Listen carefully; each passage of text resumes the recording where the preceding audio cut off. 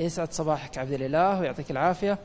آه، لعل من المناسب يعني بما أننا نعيش أجواء آه، معرض الرياض الدولي للكتاب أن نتواجد وأن نخصص هذه الدقائق من آه، واحدة من أهم وأعرق المكتبات طبعا نتكلم عن مكتبة عبد الله بن العباس الواقعه بجوار أيضا مسجده الذي هو جامع وجامعه أيضا لطلبة العلم من كل الأمصار العربية الذين كانوا يلتقون بحبر هذه الأمة عبد الله بن العباس رضي الله عنهما.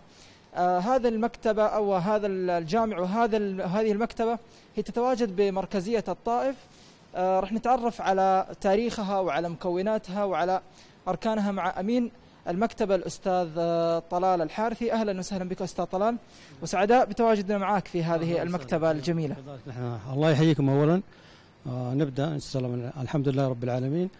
والصلاة والسلام على نبينا محمد. آه اولا حياكم الله جميعا والمتابعين الكرام. مكتبة عبد الله بن العباس هي مكتبة عريقة. آه يعود تاريخ تأسيسها بالضبط 1290 للهجرة.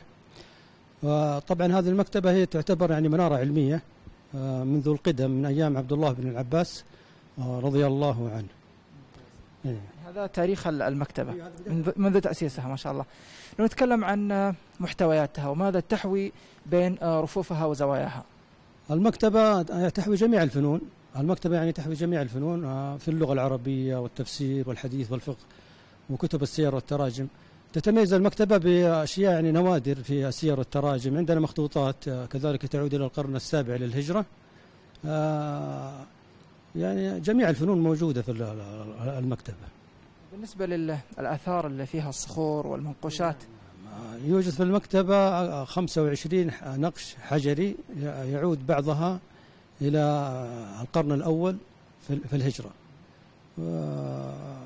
وهكذا يعني. يوجد كذلك عندنا نوادر في ما يسمى المطبوعات الحجرية. يعود بعض تاريخها إلى 1218 للهجرة. تمام. لو تكلمنا عن العناوين وعن المؤلفات التي فيها آه، كم يصل آه، عددها حتى اليوم؟ عدد العناوين في المكتبة الآن قرابة خمس- 15000 عنوان. 15000 عنوان الآن.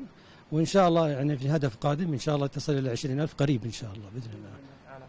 بالنسبة للأوقاف والذين يهدون يعني كتبهم ومكتباتهم للمكتبة هل المجال مفتوح واستقبلتم عدد منها؟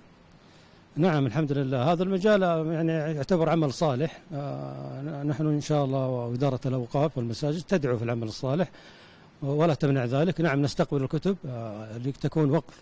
شرعيا ويوضع لها رقم تسلسلي وتكون مفهرسة في المكتبة يعني إن شاء الله. والله يحييكم يعني. سؤال أخير ومهم أستاذ طلال نختم فيه هذا اللقاء. طبعا لو نتكلم عن حجم القراءة والإقبال على القراءة في ظل آه، المتغيرات ظل يعني الوسائل الجديدة هل هناك قراء فعلا بشغف؟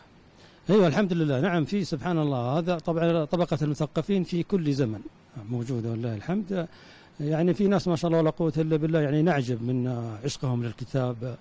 ومؤلفين يأتي المكتبه علماء ومشايخ ومؤلفين الحمد لله. والحمد لله الدنيا في خير. نحمد الله ونشكره. شكرك أستاذ طلال وسعداء بهذا الوقت معك. والمكتبة يعني كما ذكرت هي مكتبة عريقة وتحتاج إلى وقت أطول لكي آه، نستعرض آه، تاريخها العظيم جدا. عودة لك عبد الإله. يعطيك العافية محمد الثقفي.